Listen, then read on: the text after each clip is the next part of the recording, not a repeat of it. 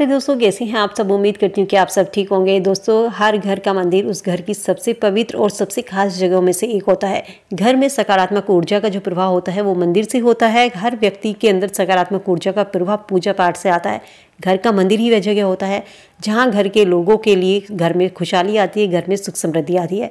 लेकिन कई बार हम बिना सोचे समझे, जाने अनजाने कुछ ऐसी छोटी छोटी सी गलतियाँ कर जाते हैं, ऐसी चीज़ों को मंदिर में रख देते हैं, जिनका वहाँ बिल्कुल भी होना अच्छा नहीं या शुभ नहीं माना जाता और इन चीज़ों से भगवान नाराज़ होते हैं और इसका नकारात्मक प्रभाव घर पर पड़ता है, इंसान पर पड़ता है। ऐसे में मंदिर में हमें क्या रखना चाहिए, क्या नहीं, इस बात का हमें ध्यान ज़रूर रखना चाहिए। चलिए जानते हैं कि घर के मंदिर में क्या रखना चाहिए, क्या नहीं रखना चाहिए। सबसे पहले घर के मंदिर में मूर्तियों का ध्यान रखें। देखिए, घर के मंदिर में मूर्तियों की स्थापना नहीं की जाती। तो इसीलिए घर में हमेशा छोटी से छोटी मूर्ति रखें, क्योंकि जब आप बड़ी मूर्ति रखते हैं तो उनकी स्थापना की जाती है, प्राण प्रतिष्ठा उनकी की जाती है। तो ऐसी मूर्ति केवल मंदिरों में रखी जाती है, घर के मंदिर में हमेशा छोटी तीन इंच की मूर्ति रखनी चाहिए। इसके अलावा जब आप बहुत से लोग घर में भगवान की एक से ज़्यादा मूर्तियों घर के मंदिर में रखते हैं, लेकिन धर्मशास्त्र में इसे गलत बताया गया है। कहते हैं, घर में यदि आप मूर्ति रख रहे हैं तो केवल एक मूर्ति रखें, या जिस भी भगवान की आप पूजा करते हैं केवल उन्हीं की तस्वीर घर में रखें। एक से ज़्यादा भगवान की मूर्ति अगर आप रख रहे हैं तो सभी भगवान की केवल एक एक मूर्ति आपको अपने घर में मंदिर में रखनी चाहिए। इसके अलावा ध्यान रखें कि रुद्र रूप वाली तस्वीरें अपने मंदिर में ना हो। भोलेनाथ की या काली माता की या शनिदेव की ऐसी तस्वीरें आती हैं जो रुद्र रूप की होती हैं। आप इनकी कोई भी सौम्य या हंसने वाली तस्वीरें रख सकते हैं। किसी भी देवी देवता के गुस्से में जो दिखाई दे रहे हैं, वो तस्वीर ही नहीं रखनी चाहिए क्योंकि ये जो होती है कलह कलेश की वजह बनती है। इसके अलावा हनुमान जी की तस्वीर या भोले भगवान की जो नटराज की तस्वीर आती है काली माता की तस्वीर, सनी की तस्वीर। ये तस्वीर कभी भी घर के मंदिर में नहीं रखी जाती। घर के मंदिर में कभी भी टूटी फूटी या खंडित मूर्ति ना रखें, उसे तुरंत वहाँ से हटाकर विसर्जित कर दीजिए। ध्यान रखें कि घर के मंदिर में या घर के मंदिर में कोई भी भगवान की टूटी फूटी, चटकी मूर्ति ना हो। माना जाता है यदि आप टूटी या चटकी मूर्ति घर के मंदिर में रखते हैं तो ऐसा करने से घर में नकारात्मक ऊर्जा का वास होता है। टूटी मूर्तियाँ जो होती हैं, घर में वो नकारात्मक प्रभाव लाई कराती हैं। पूर्वजों की तस्वीर बहुत से लोग अपने घर के मंदिर में रखते हैं, जो कि धर्म में बिल्कुल भी गलत माना गया है। कई बार ऐसा देखने में आता है कि लोग भगवान के मंदिर में अपने पूर्वजों की तस्वीर रख देते हैं। ये नुकसानदायक हो सकता है। तो पूर्वजों की तस्वीर को भगवान के मंदिर में रखने से घर में सुख समृद्धि और खुशहाली में रुकावट आती है। इसलिए इन चीज़ों का भी आपको ध्यान रखना चाहिए। और दूसरी चीज़, जब आप घर के मंदिर में जब पूजा करते हैं तो बहुत से लोग चावल चढ़ाते हैं। और सभी देवी देवताओं की पूजा में चावल विशेष रूप से चढ़ाए जाते हैं। लेकिन पूजा के लिए ऐसे चावल का उपयोग करना चाहिए जो कि खंडित ना हो, टूटे हुए ना हो। चावल चढ़ाने से पहले आप यदि ने हल्दी से पीला कर लें तो ये बहुत ही शुभ माना जाता है।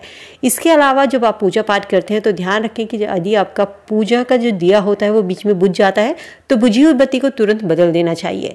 और दिया हमेशा गाय के घी का जलाना चाहिए। यदि आपके पास गाय का घी नहीं है तो आप तिल के तेल का भी इस्तेमाल कर सकते हैं। इसके अलावा अपने मंदिर में पूजा घर में जब भी मूर्तियाँ रखते हैं तो कभी भी उनको नग्न नहीं रखना चाहिए। सभी देवी देवताओं को उनकी जो पसंद होती है या उनकी शुभता को ध्यान में रखते हुए उन्हें कपड़े ज़रूर पहनाएँ। जिस तरीके से माता रानी को चुंदरी उड़ाई जाती है या आपके घर में साई बाबा की तस्वीरें, उन्हें पीले रंग का चोला चढ़ाया जाता है किसी की भी तस्वीर है, सबको अलग अलग तरीके के कपड़े पहनाए जाते हैं तो उसी तरीके से भगवानों को तस्वीर को कपड़ा ज़रूर पहनाइए। इसके अलावा कभी भी मूर्तियों को या मंदिर में जो मूर्तियाँ रखते हैं तो उन्हें दीवार से सटाकर ना रखें। मंदिर कभी भी सीढ़ी के नीचे नहीं होना चाहिए। कभी भूल कर भी बीम के नीचे बैठकर पूजा नहीं करनी चाहिए। वास्तु के अनुसार यदि आपके घर में बीम पड़ा हुआ है, उसके नीचे आप पूजा करते हैं तो ये आपकी एकाग्रता को भंग करते हैं। ध्यान रखें, मंदिर हमेशा उत्तर पूर्व दिशा में रखें। उत्तर पूर्व दिशा मंदिर के लिए सबसे शुभ मानी जाती है। कभी भी ज़मीन पर बैठकर पूजा ना करें, ज़मीन पर कोई भी आप आसन बिछाएँ, चौकी बिछाएँ, उस पर बैठकर ही पूजा करें। अक्सर हमने देखा है जब हम पूजा में फूल इस्तेमाल करते हैं, फूल भगवान को चढ़ाते हैं तो वो जब सूख जाते हैं, वो वहीं पड़े रहते हैं। तो इन फूलों को किसी स्वच्छ स्थान पर मिट्टी में, गमले में दबा दीजिए या इन्हें नदी में प्रवाहित कर दीजिए। सूखे फूलों को तुरंत मंदिर से हटा दीजिए। और घर के मंदिर में कभी भूल भी माचिस नहीं रखनी चाहिए। माचिस यदि आप रख रहे हैं, जैसे सफ़ेद कपड़े में लपेट कर रखें, किसी कागज़ में लपेट कर रखें या मंदिर में अगर कोई ड्रोर वगैरह है, उसमें रखें। क्योंकि घर के मंदिर में माचिस रखने से नकारात्मक ऊर्जा आती है। बहुत से लोग तिलियाँ जलाकर फेंक देते हैं। ऐसा भी बिल्कुल भी नहीं करना चाहिए। घर के मंदिर के पास साफ़ सफ़ाई का विशेष ध्यान रखें। पूजा घर कभी भी आपको शयन कक्ष में नहीं बनाना चाहिए। मजबूरी में यदि आप बना रहे हैं तो इस पर आप पर्दा ज़रूर लगाइए। अपने पूजा घर में कभी भी टूटी फूटी मृत आत्माओं का चित्र ना रखें। पूजा घर में दो शिवलिंग, दो शालिग्राम, दो शंख या दो सूर्य प्रतिमा, तीन गणेश, तीन देवी प्रतिमा नहीं रखनी चाहिए। उम्मीद करती हूँ मंदिर से जुड़ी ये जानकारी आप सबके काम आएगी। वीडियो अगर पसंद आई और आपको लगा हो कि आपको कोई जानकारी मिली है, वीडियो को फ्रेंड फैमिली के साथ में लाइक, शेयर ज़रूर कीजिए। चैनल पर पहली बार मेरी आवाज़ सुन रहे हैं, सब्सक्राइब करके बेलाइकन ज़रूर प्रेस कर ले ताकि ऐसी ही और वीडियो आपको समय से मिल सके। तो चलिए मिलती नई वीडियो में नई जानकारी के साथ। तब तक स्वस्थ रहिए, खुश रहिए।